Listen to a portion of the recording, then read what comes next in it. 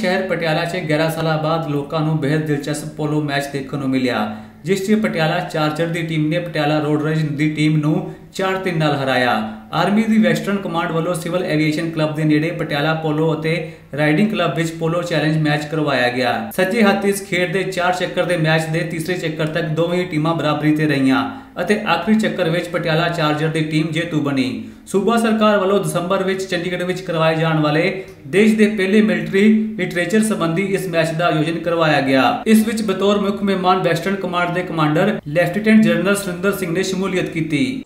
ਇੱਕ- ਕਿਸਮ ਦਾ ਕਹਿੰਦੇ ਨੇ ਪਰਦਾ ਹਟਾਇਆ ਗਿਆ, ਕਰਟਨ ਰੇਜ਼ਰ ਹੋਇਆ, ਕਿਉਂਕਿ ਅਸਲੀ ਜਿਹੜਾ ਹੈਗਾ ਜਿਹੜੀ ਚੀਜ਼ ਕਰ ਰਹੇ ਹਾਂ ਆਪਾਂ, ਉਹ ਹੈਗੀ ਹੈ ਮਿਲਟਰੀ ਲਿਟਰੇਚਰ ਫੈਸਟੀਵਲ ਔਰ ਤੁਸੀਂ ਸਮਝਦੇ ਹੋ ਕਿ ਜਦੋਂ ਲਿਟਰੇਚਰ ਦੀ ਗੱਲ ਕਰਨੇ ਆ ਉਹ ਬੜੀ ਲੰਬੀ ਹੈਗੀ ਹੈ। ਇੱਕ ਕਵਿਤਾ ਤੋਂ ਲੈ ਕੇ ਟੈਕਨੋਲੋਜੀ ਤੱਕ ਸਾਰਾ ਫਿਰ ਜਾਂਦਾ ਹੈ। ਨਾਲੇ ਵਿੱਚ ਕਲਾ ਵੀ ਆਉਂਦੀ ਹੈ, ਕਲਾਕਾਰੀ ਵਗੈਰਾ।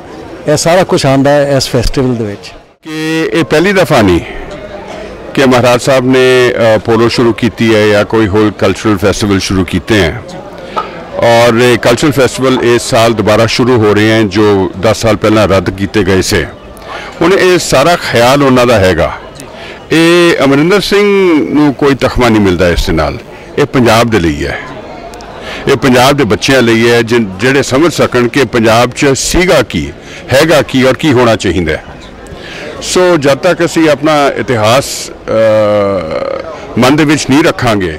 ਪਟਿਆਲਾ ਤੋਂ ਬਲਿੰਦਰ ਬਿੰਨੀ ਦੀ ਰਿਪੋਰਟ, ਚੈਨਲ 2